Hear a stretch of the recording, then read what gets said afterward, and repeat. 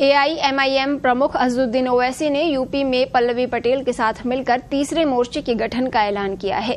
लेकिन मोर्चा बनने के दो दिन बाद ही ये चौंकाने वाला दावा किया जा रहा है कि थर्ड फ्रंट के गठन के बावजूद उनकी पार्टी यूपी में किसी सीट पर चुनाव नहीं लड़ेगी। ओवैसी की पार्टी के प्रवक्ता मोहम्मद फरहान का दावा है कि ओवैसी ने पार्टी नेताओं को चुनाव लड़ने से मना करते हुए उनसे पल्लवी पटेल और दूसरे सहयोगी दलों के लिए प्रचार करने और वोट मांगने के लिए कहा है। प्रवक्ता मोहम्मद फरहान का दावा है कि ओवैसी ने यह फैसला कांग्रेस सांसद राहुल गांधी और तेलंगाना के सीएम रेवंत रेड्डी के दबाव में लिया है।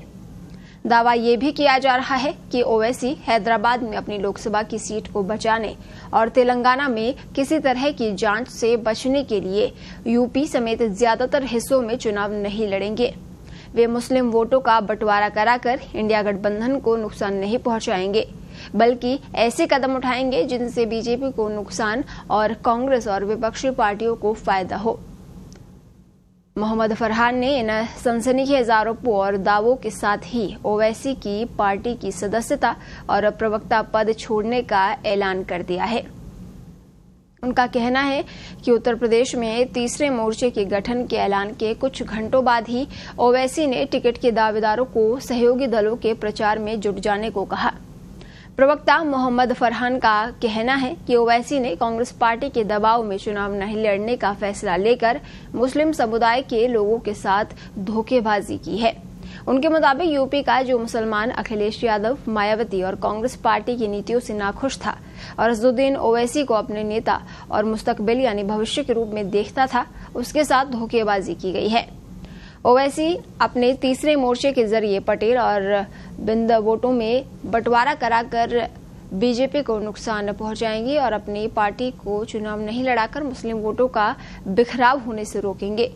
प्रवक्ता मोहम्मद फरहान का कहना है कि ओवैसी पर अब तक बीजेपी की बी टीम होने का ठप्पा लगता था।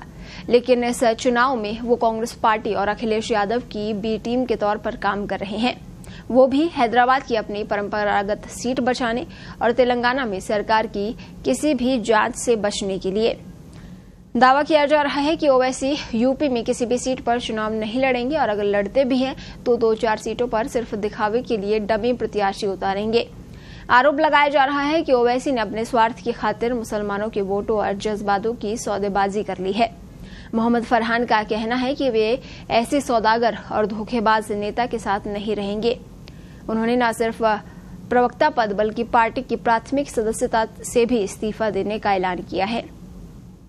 फरहान ने दावा किया है कि ओवैसी के इस फैसले से यूपी में पार्टी के तमाम नेता हैरान और निराश हैं और तमाम दूसरे पदाधिकारी भी जल्द ही पार्टी छोड़ने का ऐलान करेंगे।